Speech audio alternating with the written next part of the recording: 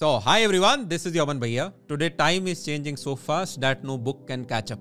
आज के दिन समय इतनी तेज़ी से बदल रहा है कि भाई जो पुरानी किताबें हैं वो रेलिवेंट ही नहीं रह पाती ऐसे के अंदर आज मैं आपके लिए सेवन बुक्स लेकर आया हूँ जो कि आपके लिए मस्ट रीड हैं मेरे ओपिनियन में और चाहे आप एक कॉलेज स्टूडेंट हो वर्किंग प्रोफेशनल हो सेल्फ एम्प्लॉयड हो ऑन्टरप्रनोर बनना चाहते हो कुछ भी आप काम कर रहे हो, ये सात किताबें अगर आपने पढ़ी हैं, ये टाइम के ऊपर डिपेंडेंट नहीं है। ये पहले भी सच थी, ये आज भी सच है।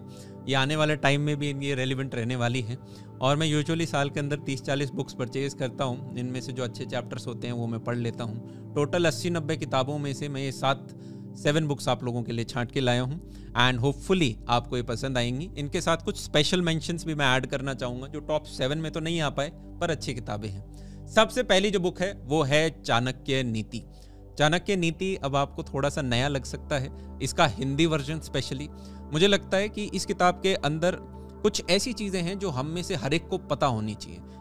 इसके अंदर बताया गया है कि भाई समाज कैसे ऑपरेट करता है, आपके घर परिवार कैसे सोचते हैं, आपको घर परिवार के बारे में कैसे सोचना है, आपके अंदर लीडरशिप क्वालिटी कैसे, आप एक अंपायर कैसे बना सकते हो राइट आपको मित्र शत्रु इन सब के बारे में ऐसी ऐसी चीज़ें बताई गई हैं जो काफ़ी बार हमारे घर परिवार वाले भी आ, हमें बताने से संकोच करते हैं कि थोड़ा कहीं एम्बेरस जैसी चीज़ ना हो। और हमारे दोस्त यार होते हैं उनको हो सकता है नॉलेज ना हो। तो ऐसे में चाणक्य जी ने ये अपने ऊपर भार उठाया है कि स्ट्रिक्टली स्ट्रेट फॉरवर्ड आप तक एक्यूरेट चीज़ पहुंचाई जाए। आप में से पाँच दस परसेंट लोगों को हो सकता है ये किताब थोड़ी सी ऑफेंसिव लगे, पर इसको एक ओपन माइंड से पढ़ने की कोशिश करोगे। इतनी किताब अच्छी लगती है मुझे कि एवरी फोर फाइव मंथ्स में इसको बार बार बार बार पढ़ता रहता हूँ। हिंदी में पढ़ोगे तो ज़्यादा अच्छा लगेगा। संस्कृत अनुवाद है। संस्कृत का हिंदी अनुवाद जहाँ पे दे रखा है। मैं आपको फ़ोटो भी दिखा देता हूँ इसका। सेकंड जो बुक है I believe we all are result of our habits और हैबिट्स का आप सबको पता ही होगा the one of the best book is the atomic habits इसकी मेरे को दो तीन चीज़ें बहुत अच्छी लगी। इनफैक्ट इसकी दो कॉपीज़ मेरे पास पड़ी हैं। एक बार कोई एक कॉपी मेरे से ले गया था तो मैंने दूसरी ले ली। और शायद एक ओरिजिनल एक फेक है क्योंकि इनके साइज़ का अंदर कुछ डिफरेंस है। तो पहला तो ये है कि भाई एनवायरनमेंट बहुत आपका इंपॉर्टेंट होता है कि अगर आप पानी कम पीते हो कि भाई जो भी आपकी गुड हैबिट है, उसको ईजी चॉइस बना दो। पानी कम पीते हो तो टेबल के ऊपर पानी रख लो, मटका कमरे के अंदर रख लो और अगर फल फ्रूट कम खाते हो तो उसे भी रूम के अंदर रखो।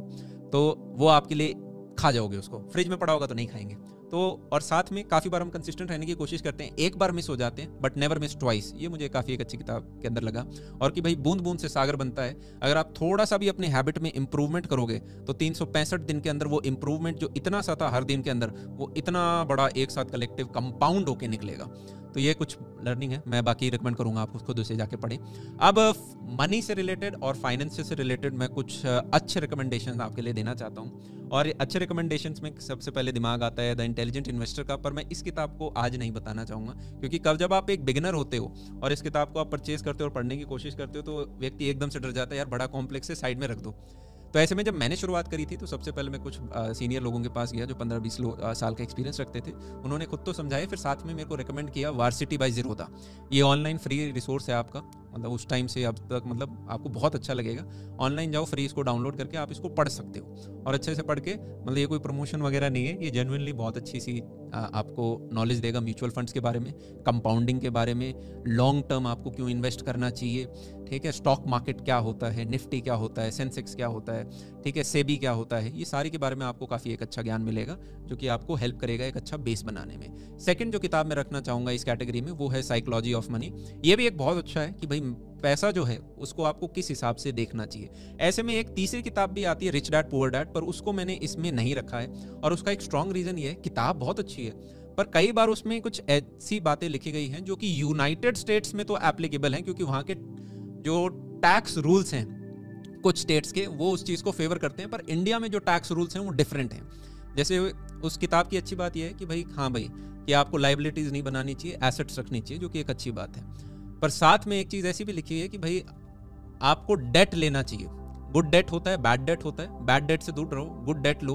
और इंडिया में क्या है कि डेट लेने के बाद वहाँ पे कि भाई डेट के अगेंस्ट आपको टैक्स नहीं देना पड़ेगा। एक और चीज़ कि यहाँ पे रेंटल यील्ड उतनी ज़्यादा नहीं है। चाहे आप दिल्ली देख लो टॉप सिटीज़ देख लो टॉप टाउन्स देखो, और जहाँ पे रेंटल यील्ड्स है, वहाँ पे हो सकता है आप उस शहर में ना हो, या फिर आपका फुल टाइम जॉब कुछ और है कि आपके पास समय नहीं है उस चीज़ के लिए।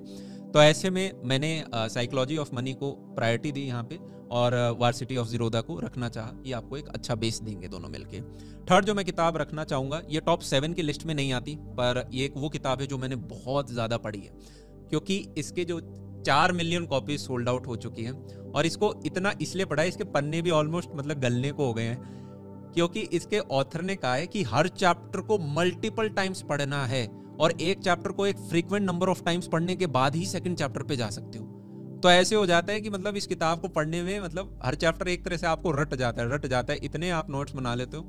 हर एक मैंने पेज पे इतनी सारी चीज़ें, इतनी सारी चीज़ें लिख रखी हैं। और ये किताब का बेसिकली ये है the greatest secret in the world और इसके अंदर मैनिफेस्टेशन के ऊपर काम किया गया है। मैनिफेस्टेशन मतलब आपको बताया जाएगा कि हाँ भाई, मैं ये काम कर सकता हूँ। जो आदमी के अंदर होता है ना, काफ़ी बार हम समाज के अंदर, छोटी एज के अंदर हमारा एजुकेशन सिस्टम बोल दो या सोसाइटी बोल दो, हमें ताने मार मार के नीचे झुका देती है कि नहीं कर सकते भाई, या फिर हमारे नंबर कम आ गए तो अब हम लाइफ में शायद कुछ अच्छा नहीं कर पाएँगे।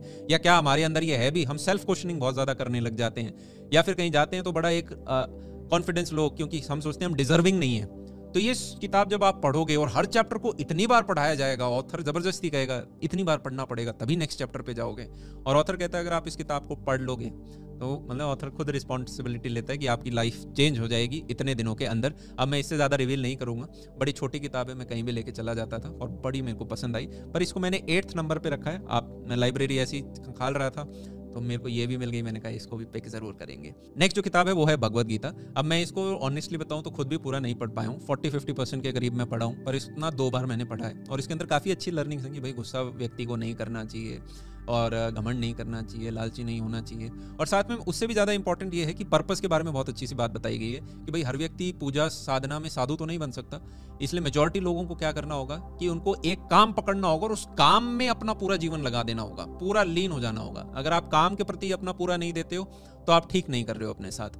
और कि भाई काम करते जाओ, कर्म करते जाओ, फल की चिंता मत करो, क्योंकि आप कर्म में अगर पूरे लीन हो जाओगे तो फल तो आपको अपने आप मिल ही जाएगा।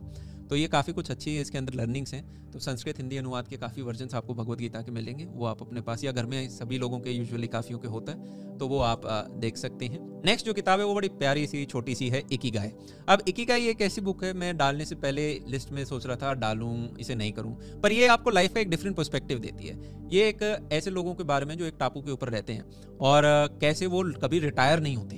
वो उनके यहाँ रिटायरमेंट का कॉन्सेप्ट ही नहीं है। वो कहते हैं कि भाई हम हमेशा लाइफ में काम करते रहेंगे। इनफैक्ट वो सबसे ज़्यादा जीने वाले लोगों में से आते हैं पूरी पृथ्वी के ऊपर। और उनका एक कारण कि वो इतना लंबा जीते हैं, वो ये कि उनकी लाइफ में एक पर्पज़ रहता है। ये कहते हैं कि भाई आप, हर व्यक्ति के जीवन में कुछ होता है कि जिस, जहाँ उसका इंटरेस्ट है पैशन है, जो वो चीज़ करना चाहता है। एक होता है साथ में कि कौन सा, जहाँ पे वो उसकी एक्सपर्टीज है, क्या मार्केट को चाहिए, किससे उसका घर चल सकता है, इन सभी चीज़ों को मिला के एक जो कॉमन रीजन बनता है, वो काम व्यक्ति अगर लग जाता है करने, और उससे सोसाइटी को एक वैल्यू देता है तो उसको हमेशा लाइफ में सुबह उठ के आपको एक फीलिंग आनी चाहिए कि हाँ यार, आज मुझे काम करना है और वह, आज मैं उठाऊँ मुझे ये काम करने का मौका मिला you should be happy about it community में रहने के फ़ायदे बताए गए हैं इस किताब के अंदर और काफ़ी एक नया डिफरेंट पर्सपेक्टिव है समाज को देखने का, अपनी लाइफ को, समाज नहीं लाइफ को अपना देखने का।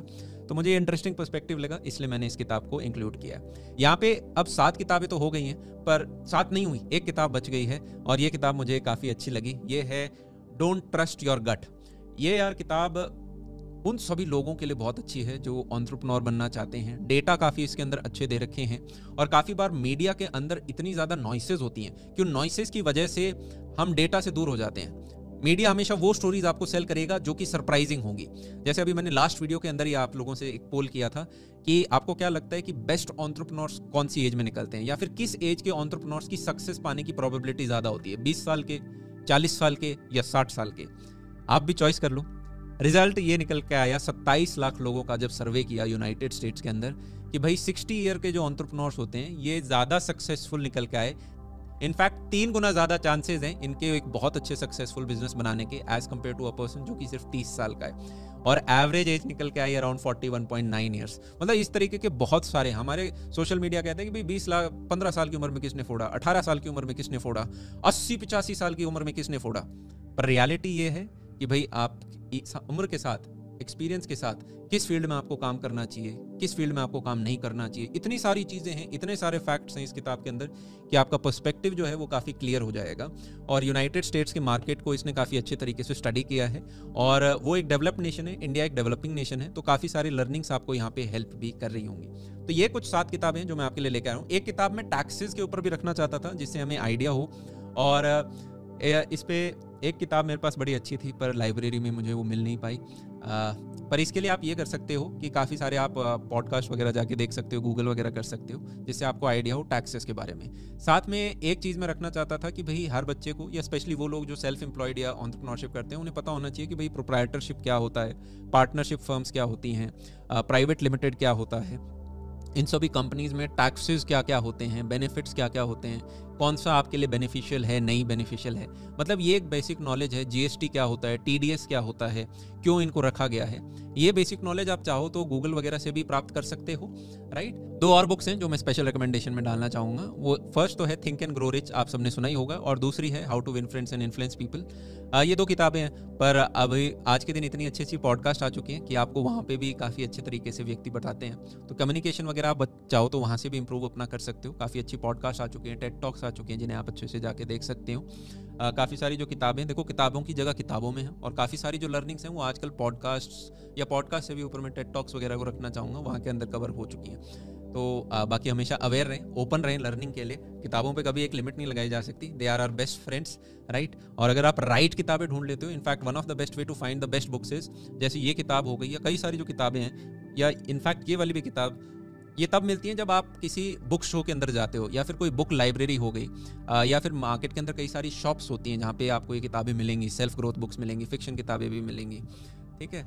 तो वहाँ पे आप खुद किताब खोल के देखो कि क्या मेरे लिए रेलिवेंट है। देखो लाइफ में ज़ीरो टू टेन की एक जर्नी होती है टेन टू हंड्रेड की एक जर्नी होती है हंड्रेड से थाउज़ेंड की एक जर्नी होती है और थाउज़ेंड से टेन थाउज़ेंड की एक जर्नी होती है। तो हर जर्नी में आपको अलग अलग किताब चाहिए होती है। पर शुरुआत की जो जर्नी होती है, जब हम शुरुआत कर रहे होते हैं in fact zero to ten and zero to hundred में ये सात किताबें आपको बहुत हेल्प कर रही होंगी। और, इसी के साथ आज का ये वीडियो समाप्त करते हैं। तब तक के लिए love you all take care and see ya